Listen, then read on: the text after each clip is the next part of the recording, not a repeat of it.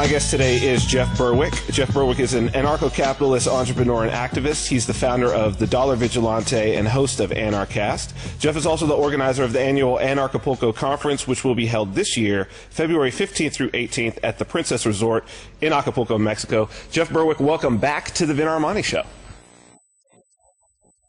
Yeah, I know, I know. It has been a long time. Uh, and 2017 has been a very, very busy year in a lot of ways. I know you've made a lot of wonderful changes. Uh, a lot of very cool things have happened in the world of, of crypto, and with you being one of the biggest advocates, I think, in the libertarian scene for the longest period of time, I thought that that would probably be an appropriate thing to talk about. Maybe we can talk about a preview of 2018. What, how, what does that sound like? Yeah, it's definitely a hot topic and, and something I don't mind talking about at all since we've done so well on it this year. So, yeah, absolutely. Me either, me either. And on that note of doing well, I know that, uh, you know, you, in terms of your uh, financial advice to people, and I know that there are a lot of people out there who, who are probably, every time they see you, sort of bow down and thank you for, for helping them to build wealth. You've been an advocate of uh, moving your money out of fiat and into crypto as a, as a store of value, certainly. We started to see it move as a, a, medium of exchange, and then we've had some weird things happen. We've had people jump in from out of nowhere. How should we as libertarians be thinking in this coming year about crypto now that the space and the people involved in the spaces are so is so different?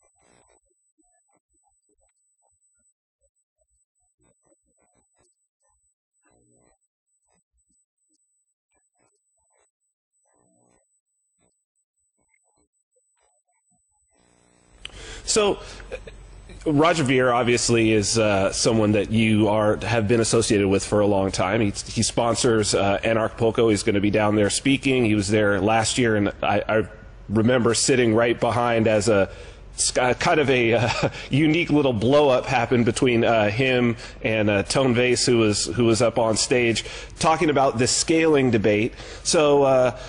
Is, uh, I know that you have been someone who has very much been interested in uh, helping people to use cryptocurrency as a store of value to increase their wealth. Uh, someone who has spoken uh, at, at, length about what's coming in terms of fiat, and that you know, as that you believe, as many of us do, that we there's an impending crash coming and that uh, this this sort of uh, fugazi is going to be broken up, and that this will be a good place to be.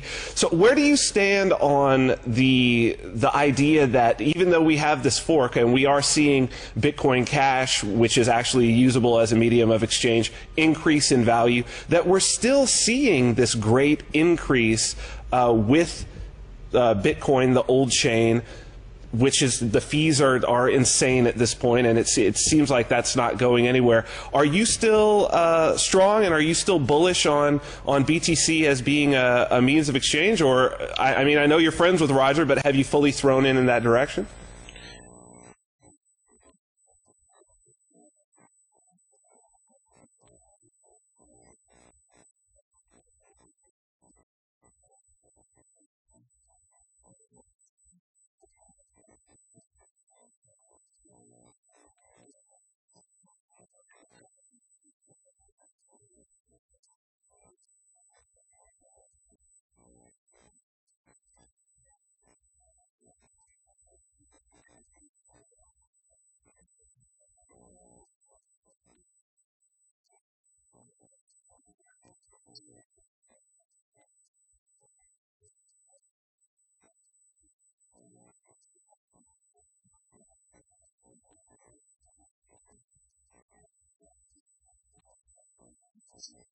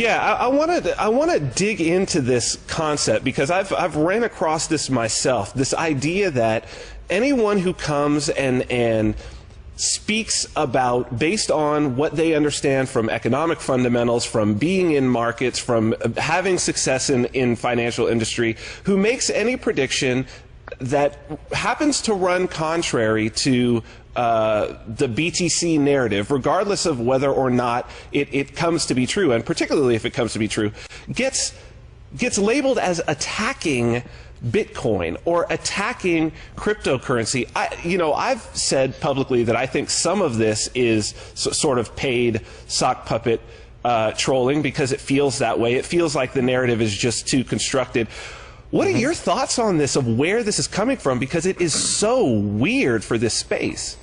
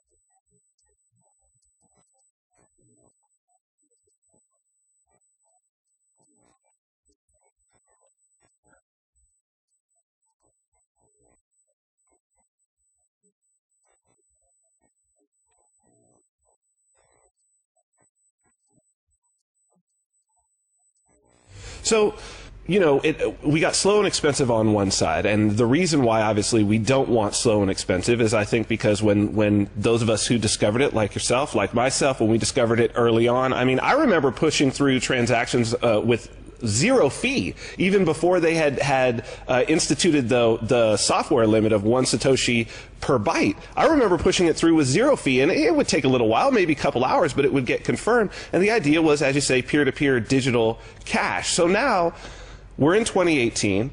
We've seen already uh, BTC that chain start to drop off. Uh, you know, BitPay is having problems. Uh, Coinbase on their merchant side. You were one of the first people to ever start talking about Bitcoin ATMs. You've been uh, someone who's been been pushing also the uh, the medium of exchange side. So now we've got people such as Dollar Vigilante subscribers who now have a considerable amount of wealth. They may want to spend it. They may want to spend it cryptocurrency wise. How do you see this shaking out in the new year? Our ability to actually start spending some of this, uh, not just cashing out to fiat and spending it, but to actually spend it as uh, as cryptocurrency. How, do you see where, where's the light that you see in this tunnel? How do you see this thing fleshing out?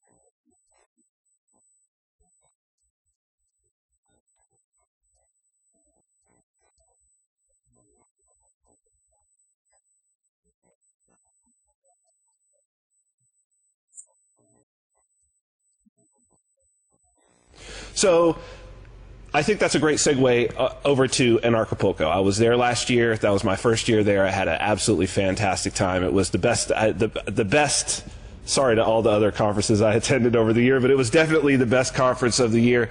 Uh, and one of the reasons why was the uh, the cryptocurrency day, the Cryptopulco day, which was, a lot of it was about the scaling debate. A lot of the things that happened during the year were absolutely predicted by the people that that were there at the conference on that day. It was an incredibly valuable day, and I'm sure that every person that was there benefit benefited from it.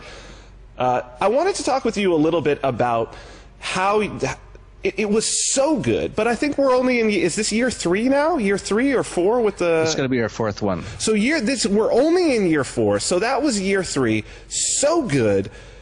Talk to me a little bit about um, why you think this conference is so different. What what makes it so different? Because it clearly it clearly is.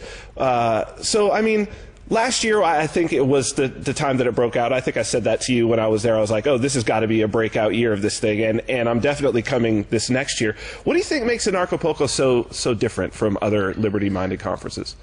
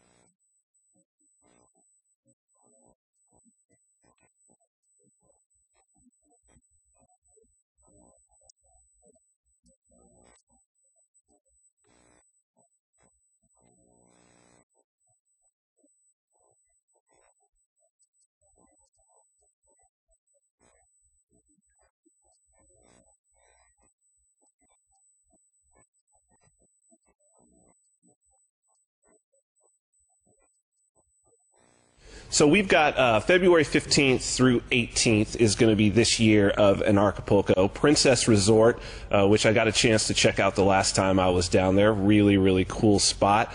Um, you know, one of the things that, that struck me being down there, not just the caliber of the, the speakers who were there, but the fact that everybody was very accessible. I mean, it was it was also the conversations with those same individuals. Uh, in private, off during those days, everybody very accessible, everybody hanging around, and as you say, this this sort of wide variety of of individuals and and thoughts. Can you uh, just uh, as a little preview of who's gonna the type of people that people can expect to be down there, and then if you want to talk a little bit about what the vibe is like in terms of uh, in terms of just sort of hanging out and getting to know people and having those private conversations too.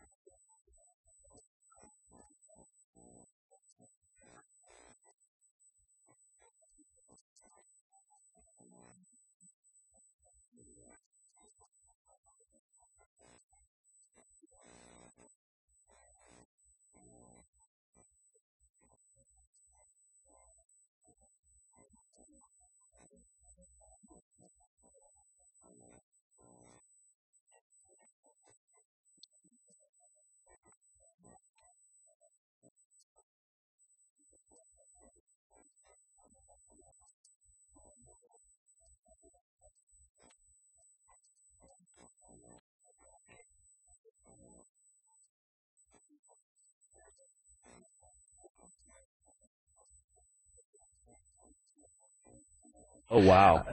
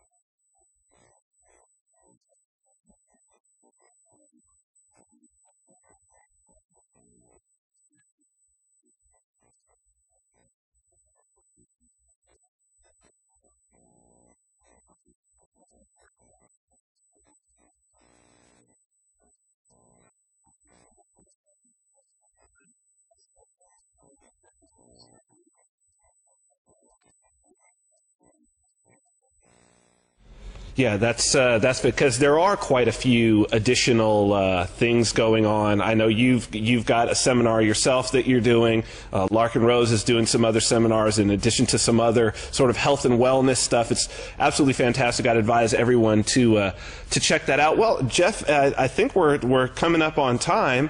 Uh, was there besides uh, you know what we've talked about in terms of Anarchapulco and uh, and with cryptocurrency. Is there anything else going on with uh, with Dollar Vigilante in in particular that people should be aware of? And and if they are not already on board with the newsletter, how can they do that?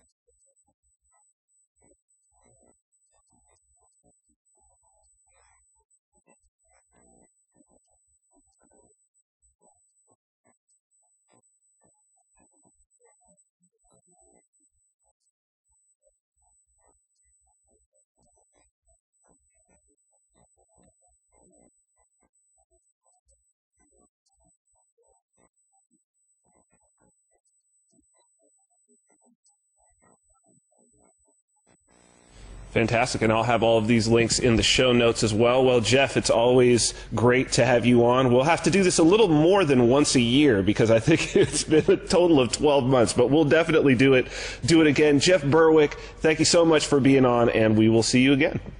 Thank you, Vin.